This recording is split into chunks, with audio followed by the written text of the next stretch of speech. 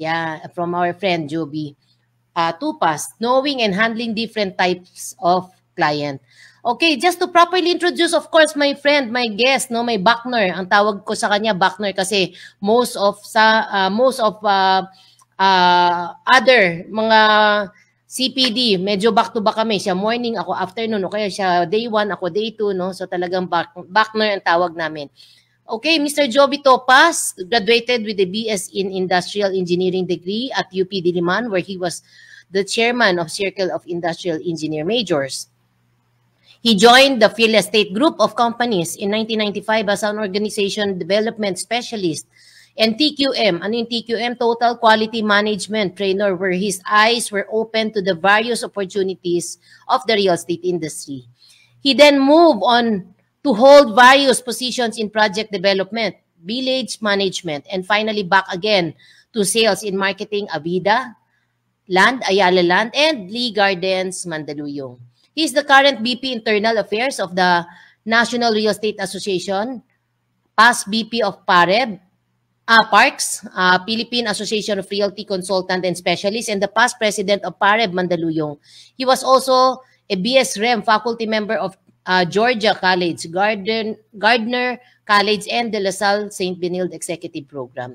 In 2003, he conceptualized www.pinoybroker.com with the primary goal of providing real estate information and helping local and international buyers in accomplishing their dreams of owning a piece of property in the Philippines.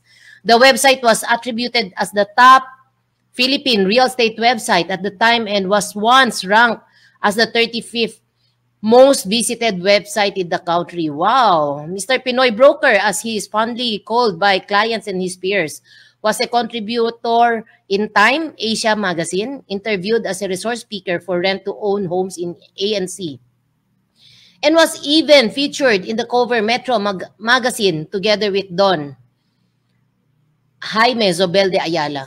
He is a licensed real estate broker, appraiser, consultant, and accredited lecturer of PRC to discuss his secrets and knowledge on, on real estate online marketing concept Here is Mr. Pinoy Broker, Jovi Topas. Hi, Jovi. Good evening. Nice to have you with us in our show. Good evening, Doc Mary. Blessed morning, Backner. Ayan. So, kahit na evening dito, morning na morning pa rin sa real estate. Yes, exactly kasi that's how we really ano kasi wala daw uh, gabi-gabi sa broker. We are always on the go and it's always a morning. Parang energized parati lahat tayo. Alam mo naman energy level. Thank you for accepting my invitation, Buckner, and uh, ang daming followers na nanonood dito sa ating Facebook, no? Um, we also have our chairman watching us, si Miss Margaret Gao. Sabi niya, another Saturday learning a weekend learning again from Mr. Joby Topas and yours truly. And of course, mga account officer natin like Miss Sheila, um, Miss uh, Loida, Miss Rose Thomas. We have Dr. Elton Sita never miss any of our show, no? The president of uh, Makati Tourism and president of E-Hotel together with his son, Tanyo III. And uh, BP Arceli, BP Ryan Centeno, and BP Monet Rabanillo, And marami pang iba, no? Hindi mauubos yun, ano natin, mga nanonood, marami atang nakabalita na si Pinoy broker Joby Tupas ang aking guest tonight. Yan. Akala yata na right. Yolo Pascual kaya madami. yes. Uh, so Bakner, alam mo, um, uh, I know you have very intensive ano no uh, experiences in real estate and we are so glad that we can have this avenue to really reach out sa ating mga viewers to learn from you. And uh, alam natin na yung mga experiences natin are priceless and our ultimate goal is really to inspire our mga co-practitioner, mga fellow practitioner in the industry. Di ba, partner? Yes, correct, partner. So again, it's it's an honor for me to be here together with you. So hanggang dito eh hindi na pala tayo partner, uh, side by side pala tayo ngayon dito. side by side, yes. We have also Cons Lodet huh, watching us, no? Si Cons Lodet ng parks natin, Lodos. no? Yes, and of course our manager Miss Flory Solidad and we have Miss uh, Maribic is also watching us and marami pang iba. So Bakner, you have the floor. Let's keep yes. the ball rolling. Yes. Okay, so let's start it now. So um, let me just uh, share my screen and share my slide. Yeah, and So again, ano, again, uh, blessed uh, morning to everyone uh, here in the real estate world. And for those of us, uh, for those of you listening right now, again, I'm Jovi Tupas. I'm a licensed real estate broker, appraiser, and consultant, and also an accredited lecturer by the PRC. Yan. So next slide tayo.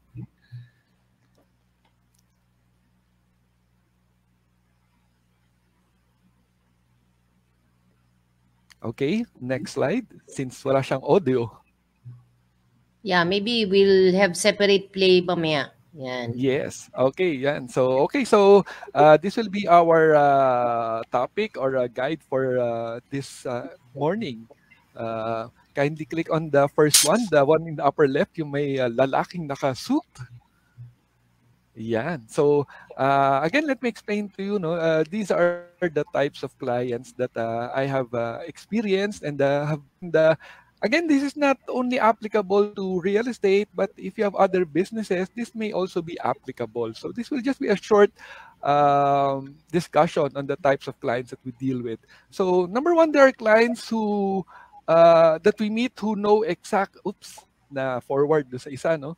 So, balik lang tayo sa kabilang side. Yan. So, th- there are clients who know exactly what they want. Ito yung, uh, these are clients whom we meet who know the exact details probably from uh, an ad that they saw. Kumbaga, they already know what they want. Alam nila kung anong village, alam nila kung ilang bedrooms, alam nila kung anong finish. Yan. They know the project name, the details, the price, the payment scheme when it was first shown to them. So ito yung mga yung mga people na alam na nila na they fell in love with the project and now bumabalik na sila. So uh, this is good because it narrows down uh, their choices and budget. So when a client uh, approaches me and tells me, for example, na um, I, I like to buy a two Sarendra two bedroom unit and uh, this is my budget and gusto ko yung uh, facing the pool so they know everything about it. So uh, what we do, uh, it's a good opportunity for us since alam na kagad. So there's really little uh,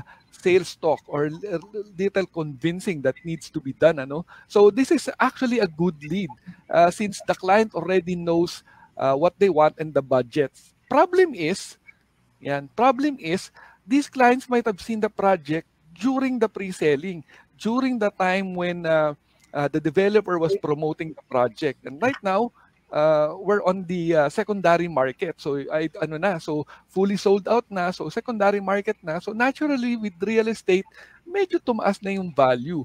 So um, the exact property may no longer be available or probably yung price niya has already uh, increased in value. So um, yun ang magiging problem natin with these kinds of clients. But the solution will be uh, to manage the expectations of our client. So to explain to them clearly that before ito yung price, uh, but now uh, ngayon uh, bago na siya.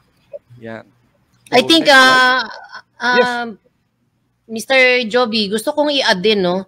Client who knows uh, clients who know exactly what they want kasi um, that's the main reason that uh, we as broker we have to do the initial uh, ano no parang asking no to know what exactly yung kailangan nila para at least we don't waste their time. You don't ano kunyari nagsabi na may kailangan na residential sa ganitong area. Maybe it should be medyo very specific no? Kasi nga alam ng mga buyers kung ano talaga yung gusto nila. Sometimes kasi tendency oh ito naghahanap no? Pero but then we don't shortlist really what are the requirements. Kasi different client have their own different needs. Diba? Kunyari, mga iba kailangan nila na may bedroom sa baba dahil may elder. Mga iba kailangan nila at least three-car garage. So, may mga ganun details, no?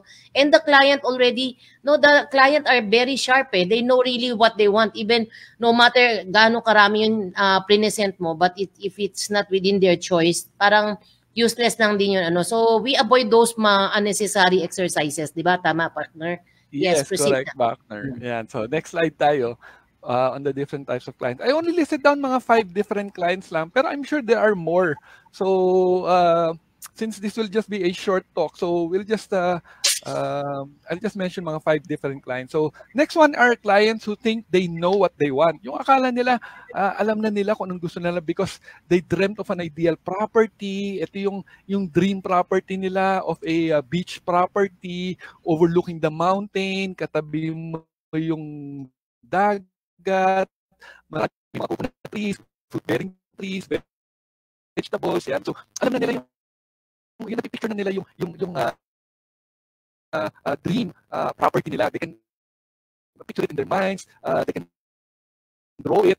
Yeah, so uh, they already have uh, a clear grasp of what they really want uh, for a property. So problem naman with these kinds of clients is they cannot explain uh, yung feeling nila.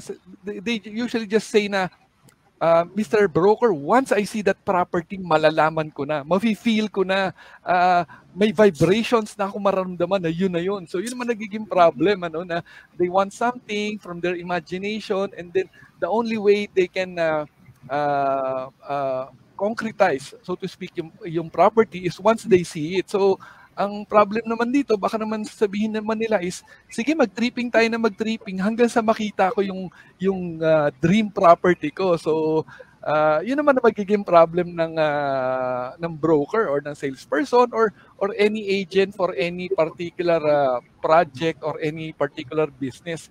Yung client mo, hindi niya alam kung ano eksakto yung gusto niya. Basta meron lang siyang gut feel na ito na yun. Ito na yung property na yun. So, sometimes these are the clients who tell you na, uh, ah, Mr. Client, ano ba yung budget mo? Sabi ng client, ah, basta ihanap mo lang ako ng property, uh, open budget naman. Yun. So, again, Doc Mary, no, ito yung mga as much as possible, like what you said kanina, no, uh, we need to know and be certain kung ano yung budget ng client, ano yung, ano yung ibig ng open budget. Hindi naman pwedeng open budget. So, ako minsan, uh, personally, when I see a client or when I meet a client, nagsabi sa akin open budget, medyo uh, nang, nanghihina na yung loob ko. But again, as uh, real estate uh, professionals, we try to see kung ano ba talaga yung open budget niya. So, meron ba talagang open budget? Ano yung open budget niya? So, is it below 5 million, above 10 million, above 25 million? So, yun yung mga questions na tinatanong natin.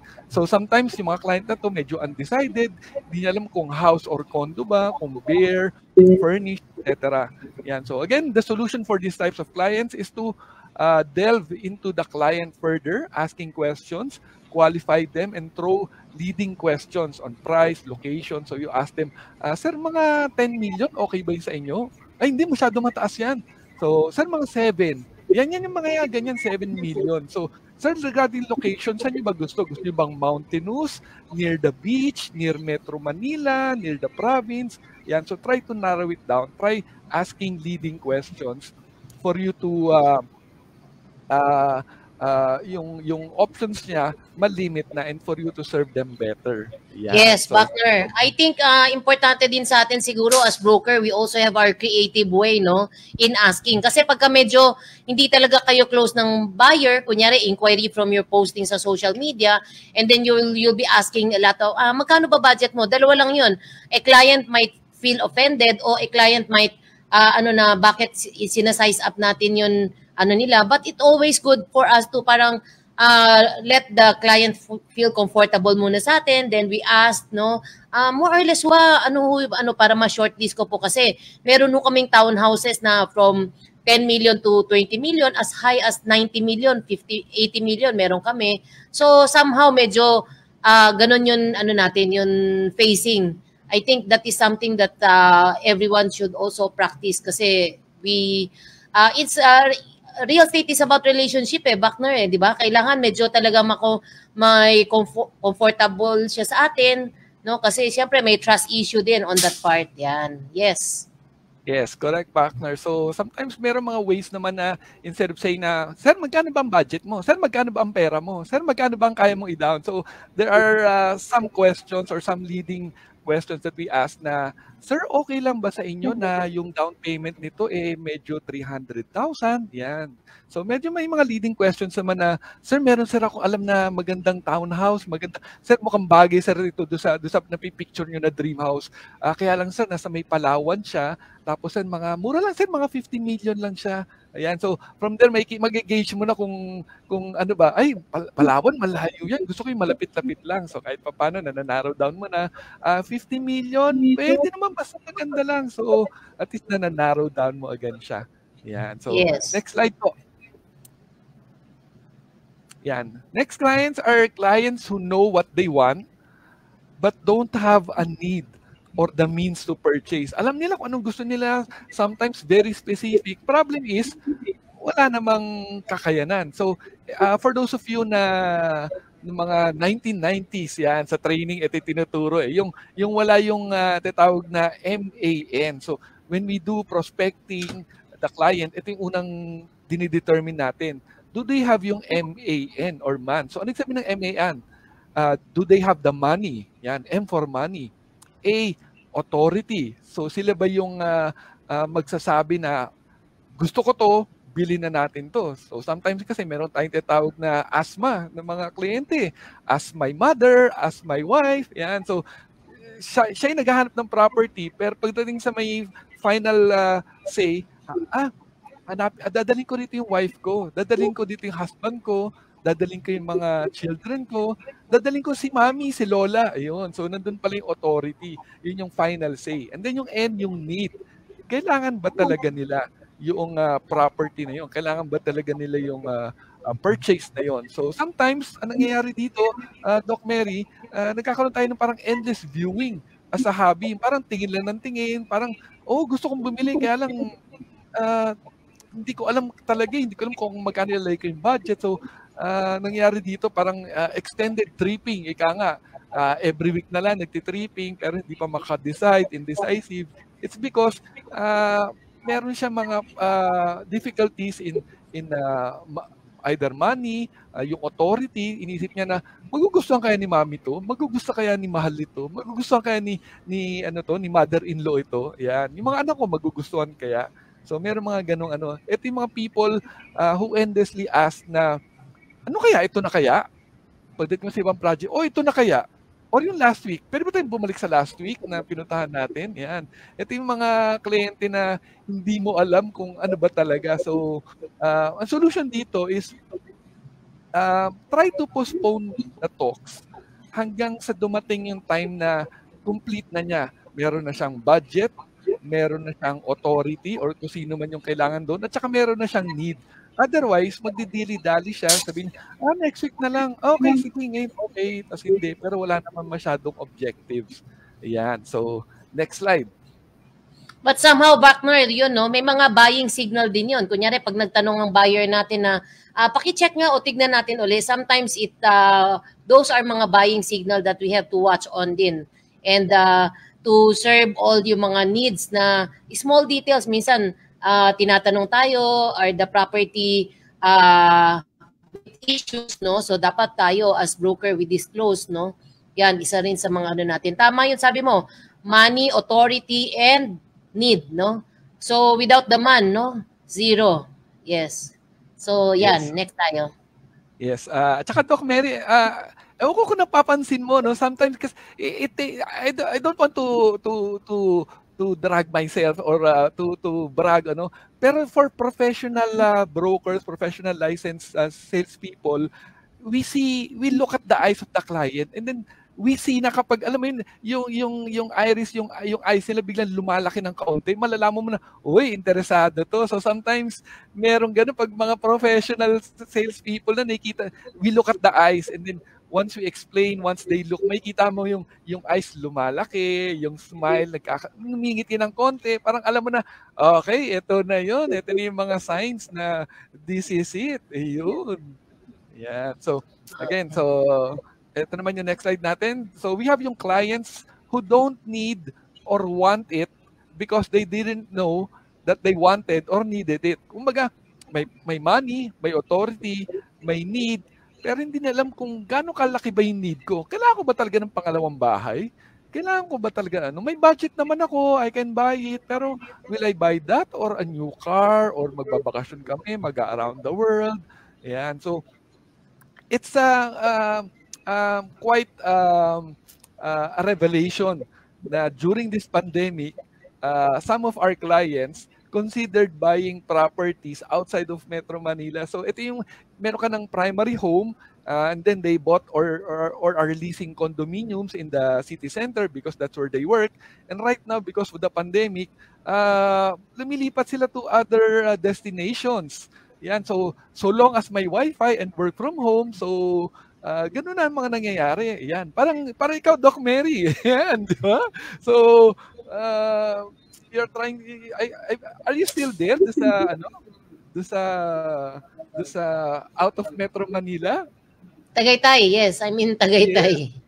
Oo, yes. so parang 'di ba this Tagaytay these Highlands. to realize na na wow, I, I want to to to go further. Mala, eh, okay lang kung malayo sa Metro Manila since right now everything is online, you can do everything online. So ito yung mga need ng clients na hindi niya alam na kailangan pala niya and right now they are realizing uh, what they need. So pag ganitong clients na to, um, try to ask, uh, sir, uh, ano ba yung plans ninyo for the future? Ano ba yung plans niyo sa mga anak ninyo?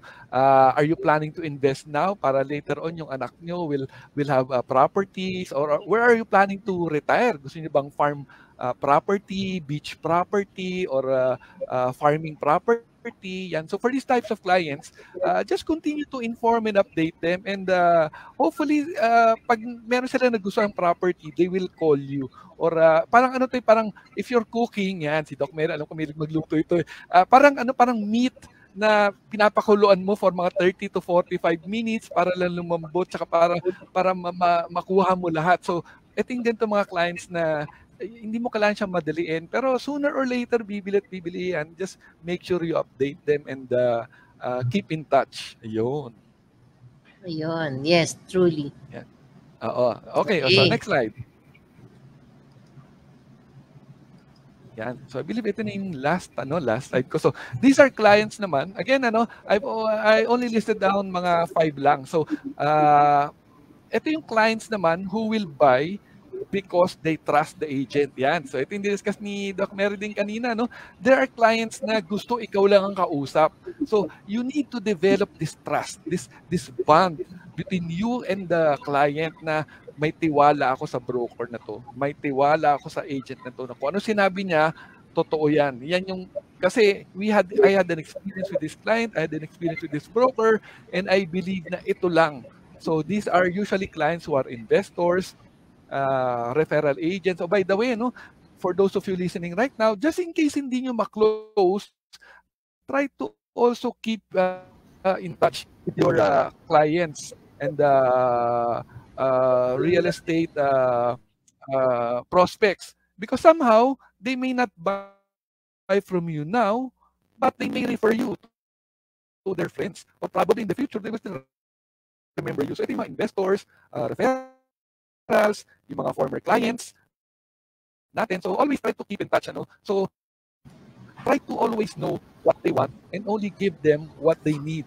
So these are the uh, parang discerning and choosy clients na na sabihin kunwari sabi sa akin na oh uh, Jovi uh, ganto no uh, I'm interested sa mga townhouse ngayon yung mga townhouse na 8 million uh, anywhere basta medyo maganda tsaka pwede kong pagkakitaan sa renta ang renta gusto ko mga 25,000 yan so always try to update them always try to keep them in mind para usually ang ginagawa ko sir Nako, eksakto. Meron akong bagong listing dito sa may ano sa may uh, uh, Mandaluyong since na uh, member ako ng uh, Mandaluyong. Yan. So, meron akong listing sa Mandaluyong. Sir, bagong-bago lang. Uh, townhouse. Perfect for your uh, specifications. Uh, maganda sir to. Would you like to take a look? Yan. So, parang feeling din niya special. So, yun ang, yun ang mga uh, different types of clients that uh, we need to uh, keep in touch and hold. Yan.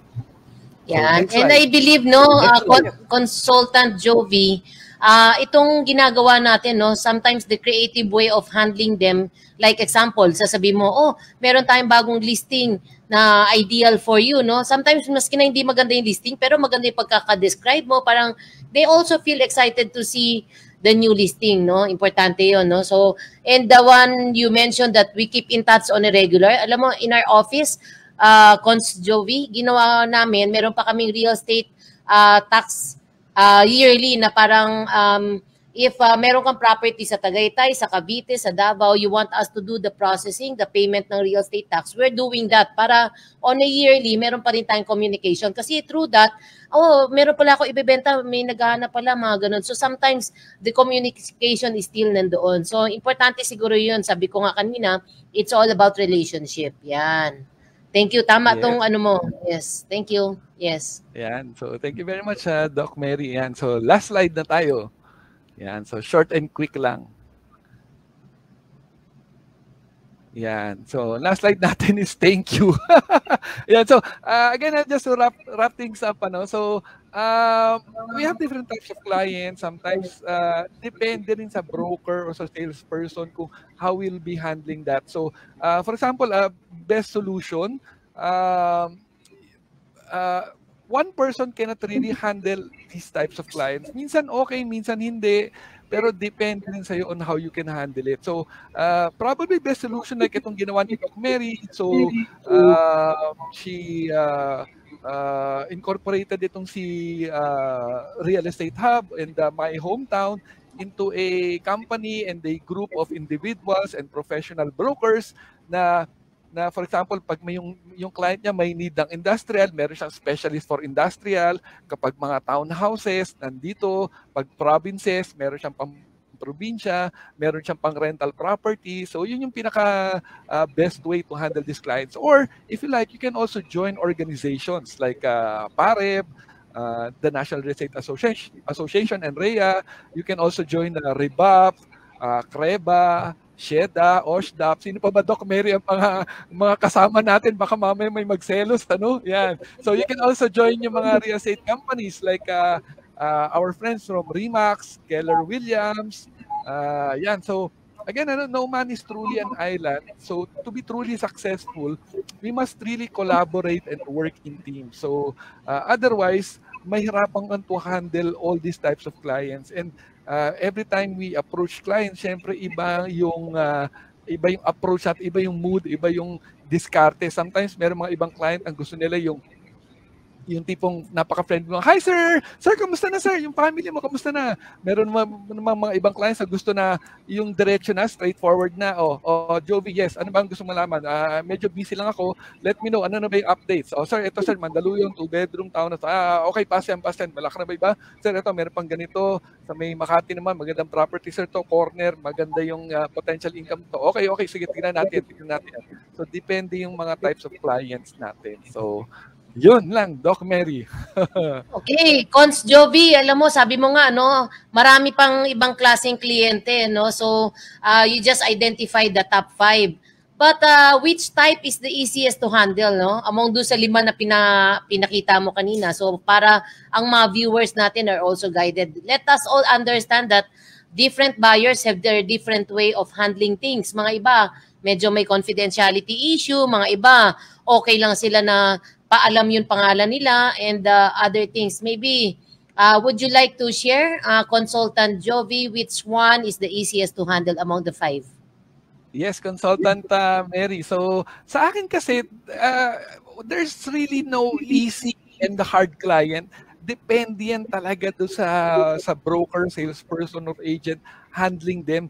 May kanya-kanya tayong uh, diskarte, so to speak. Sometimes yung diskarte ko might work for you Sometimes naman, hindi. Sometimes naman yung diskarte mo, kahit na ayaw ko, it works. So it, it will actually depend. So there are no uh, really easy or uh, hard clients, so to speak. It's up to you to to weigh it, to to convince a client, and to kailangan madali kang mag-pick up. Kailangan mapipick up na kahit na unang kita mo pa lang, uh, uh, makita mo na yung client, oh ano ba to? Oy, naka-B siya or uh, dise, uh, ano siya, naka-formal siya. So kailangan medyo formal ka, iba yung dating. So you need to also study aside from yung mga sales technique, yung mga yung mga psychological, yung mga movements, yung yung nakaganyan yung kamay, medyo yung nakatingin sa iba, yung nagpe-present ka nagse-cellphone cellphone. So may mga ano may mga guides, may mga may mga things that you need to look out for. So again, uh, depende sa personality mo. So there are some there are some clients na hindi pag hindi ko type yung personality, parang uh, I would rather not deal with them. Personally, ah, personally, uh, I would rather not deal with them because baka mamaya mainis sila sa akin or mainis ako sa kanila. So, pag ganun, what I do is I have uh, broker partners yan katulad nila Doc Mary na i-refer ko na lang kay Doc Mary kasi mas sa tingin ko mas mas bagay kay Doc Mary kasi kahit anong mangyari baka most likely baka hindi ko ma-close. Eh sayang din naman yon so uh, it's good to collaborate with the brokers as well. So ganon sharing sharing na lang. So referral. So kahit paano uh, it works naman both ways. Ayun, Doc Mary. Yeah, that's uh, that's so nice no na input na nasabi mo nga. Totoo 'yon there are a lot of mga body languages ng mga ano kliyente, sometimes their expression. So mga things to watch out 'yan. Yes. Maraming nanonood no. Batiin lang natin consultant yes, Joby. Um si Ver- Venice D, of course, of Rebap Mandaluyong is watching us, no? Yan. And we have BP Ryan Centeno, we have BP Lisa Tan, no? We have Rochelle Aguilar Pamplina, no? More power to all of you. Great help to improve more of our craft. Yan. And of course, our senior BP, Marita Miranda PMRB. Thank you, Consultant Jovi. Uh, good reminders for us. Uh, hi to Doc Mary, Chairman Margaret, and Rehab family. And of course, marami pa ibang nanonood sa atin, no? Hindi lang natin maisa-isa. We have uh, a lot of mga friends, mga followers mo. So, Consultant Jovi, um, sabi mo nga, no, kailangan nating ma- magkaroon ng relationship with our client. So, um, nasabi mo yung which type is easiest. So balik rin naman natin. Let's turn the table around. Which one is the hardest to handle naman? Ah, okay, so pag ganyan na uh, parehas lang naman sila ng easiest, kailan sa hardest kasi it's up to up for you to determine hanggang saan ba yung kakayanin mo. Like for example ako, there are clients na uh, I know if I have clients that I won't be able to close. Yung tipong sabi, sabihin na natin, natin na kahit anong galing mo, alam mo hindi mo mako-close kasi iba talaga yung dating eh. Iba yung, ito yung people na hindi mo talaga type, hindi, there's something about them and there's something about you na talagang hindi mo talaga, tipong every time you see them, parang, ay, nako, ito na naman, yung makulit. So there are people na like that. Although, there are also some brokers who are uh, uh, who can manage these types of people. That's why again it's important to join a uh, organization, a network or yan katulad ng uh, ni Doc Mary to join uh, uh, my hometown, Rebap uh, or Rehab uh, and then join organization like Pareb and Rhea, Rebap, uh, Keller Williams, Remax, yan. Because uh, there are clients na alam mong closeable, kaya lang hindi ikaw yung makaka-close. So it's better to uh, refer them to other uh, professionals who have the probability or higher chances of closing it.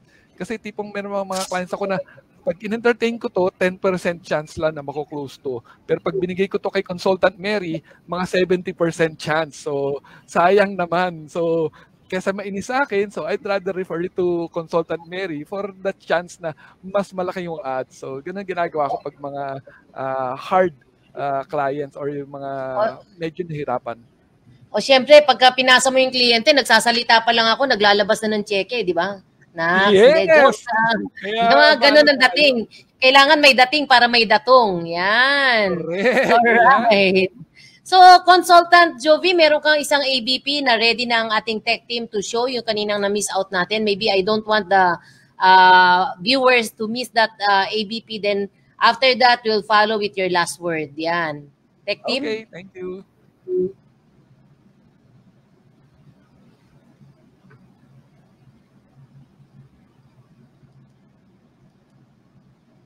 Pakita lang natin.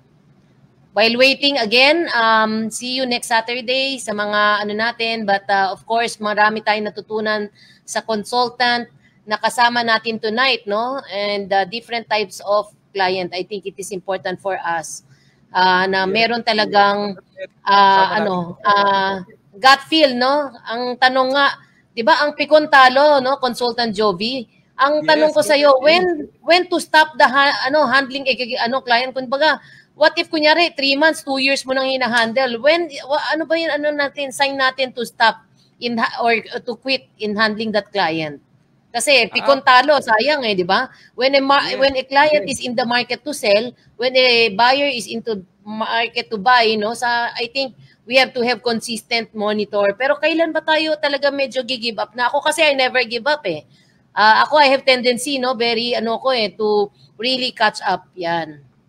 Yes, tama yun, Doc Mary. Di ba parang isang song, ah, tama, hindi ko lang kung tama yung sabi lang, huwag kang bibitaw or something to that Ay. effect, ano. So, walang bitawan talaga yan. So, ah, for example, kanina, I told, I told kanina earlier that meron mga hard clients na hindi ko mako-close. So, I refer it to, for example, consultant Mary. So, when I refer to them, it doesn't mean na binibitawan ko yung client. It's just that ah, sobrang ganda ng, sobrang ah, concern ko sa client that I want them to get uh, uh, professional advice, ma- uh, more professional than me. So that's why i-refer ko kay Consultant Mary kasi yung needs niya ng client mas uh, applicable kay Consultant Ma- uh, Mary. Kaya yun ang ginagawa. So it doesn't mean na binibitawan ko sa kanila. It's just continuing service talaga. That's part of service.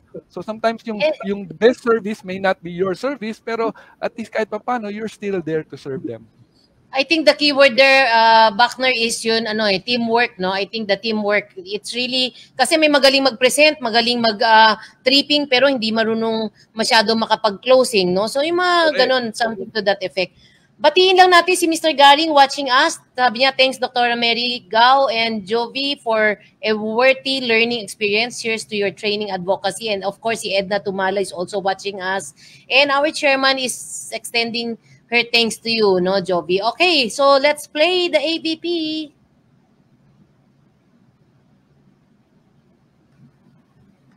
I've had this problem. Big problem. I really, really needed. A good real estate broker. And I kept searching and searching. Ah, there are so many choices. It's really hard to find one that has all the things on my list. but I finally did it. Yes, yes, yes. Thank you. If you are looking for one as well, look no further. Here's a really good one. Just use mine. Use mine. I'm very satisfied. Definitely recommend. Problem gone. Thank you. That was really nice, no? Parang binigyan mo ako ng idea. If you're a Pinoy broker, so I can be called Miss Chinoy Broker, no? Parang binigyan mo ako ulit ng another. pwede. Another title. Pwede. Yes.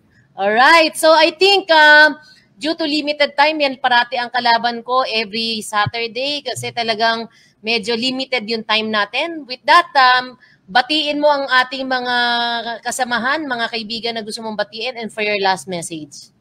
Again, ano, so thank you very much kay consultant Doc Mary, yan, for uh, having me here. So it's a pleasure and an honor to be here uh, in uh, CBRC TV and uh, uh, Real Talk, Real Estate. So again, uh, I would like to greet my friends, yung mga nanonood natin ngayon, especially mga people from uh, Rehab, from Pareb, Pareb Mandaluyong, uh, Enrea, Parks, uh, Rebap, uh, saan pa ba, mga Remax, mga Keller Williams, and all my friends na nandito. So again, ano, uh, ang takeaway lang dito is uh, we have different types of clients. It's like having different types of friends, ano. So may pakikisama na tinatawag. And then uh, there comes a, a point as in, in our professional life or professional career that sometimes uh, hindi tayo yung makaka-close, pero yung close associate, close network natin na makaka-close. So again, it doesn't mean na na binibitawan natin yung client. It's just that we feel na mas maganda yung service or mas applicable or mas bagay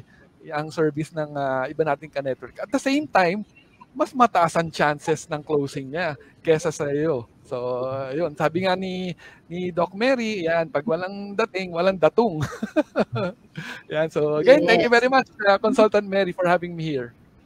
Thank you, thank you, Jovi. So that's Mr. Pinoy Broker Jovi Tupas. Palakpakan natin.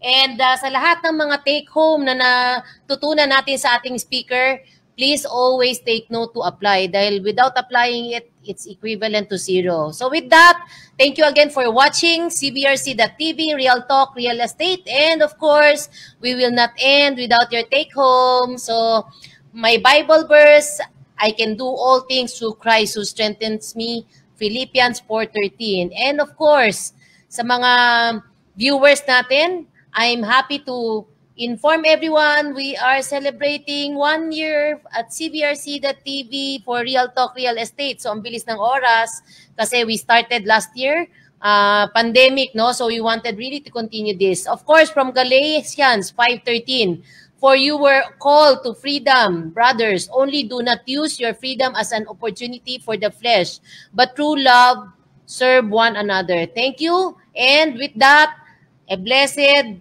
evening. Don't pray for an easy life. Pray for the strength to endure a difficult one. With that, God bless. Stay safe and happy weekend.